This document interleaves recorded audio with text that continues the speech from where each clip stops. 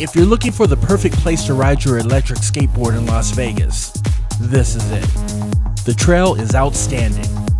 For those interested, the name is in the description below.